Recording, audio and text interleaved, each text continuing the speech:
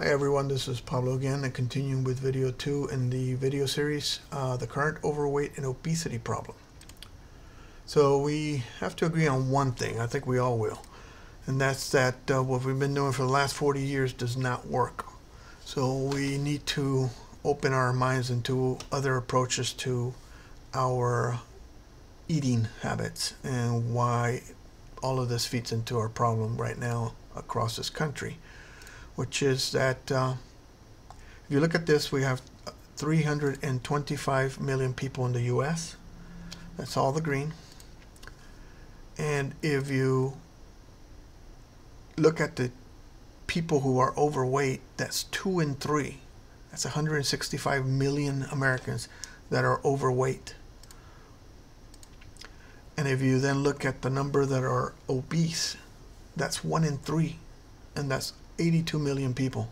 So if you combine those two, 165 and 82 million, you get the idea, uh, or you get the message really that we've got a severe problem in this country with with uh, overweight uh, and obesity. Um, so this is what we see every day when we go outdoors. If you stop and look around and actually look around you, you can see it. We have a serious problem in the country.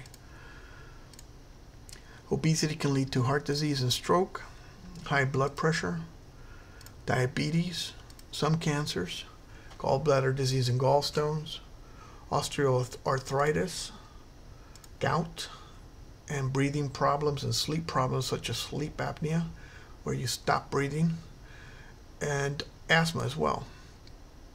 So now let's talk about the BMI or body mass index, which is simply a measure of your body fat, but it's based on your weight versus your height. Uh, it's not the most accurate. There's other ways that you can do so, but this is a kind of a starting point. It's pretty close from what I've seen. Um, the Centers for Disease Control and Prevention provide a BMI calculator. There's be a link in the video notes.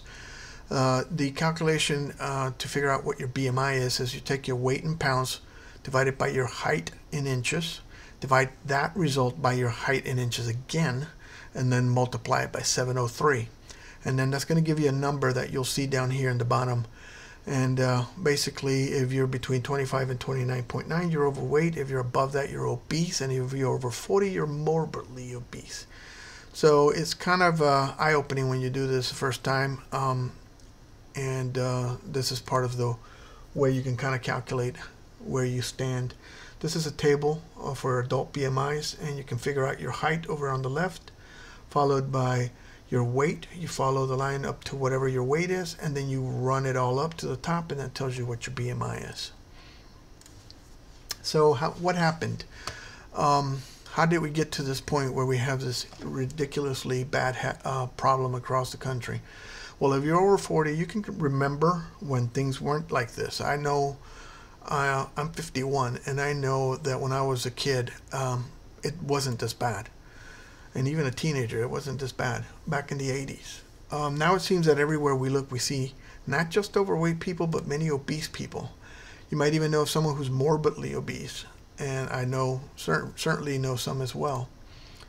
Uh, so how did things get this bad?